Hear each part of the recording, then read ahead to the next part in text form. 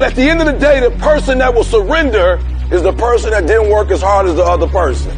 Just when you felt like you did that last rep and your muscles are saying this, I can't do no more reps. You saying, yeah, you, you got to do one more. Because right now, while you quitting, he might be doing five more. While you quitting and giving up, while you saying, all right, I did enough, it's time to rest, he might just be getting in his zone.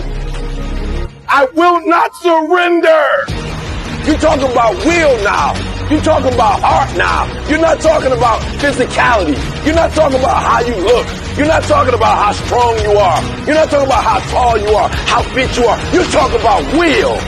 It is a mentality. And when you want it as bad as you want to breathe says, I'm willing to make any sacrifice. I'm willing to go through any pain. I'm willing to go through any suffering. I'm willing to go through whatever it takes. So when I get in there, that I guarantee you at the end of it, I won't be the one that surrenders.